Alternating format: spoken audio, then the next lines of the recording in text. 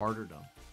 The willingness of believers throughout history to face persecution and even death for their faith suggests a conviction based on more than just intellectual assent to a set of beliefs. The unique bond of love and community experienced in healthy Christian churches often serves as a powerful testimony to the reality of Christ's teaching.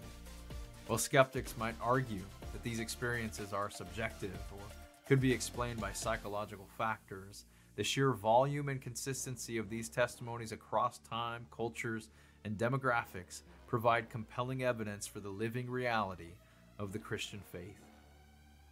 It's important to note that while experiential affirmations are powerful, they should be considered alongside, not in place of, the historical and textual evidence we've discussed.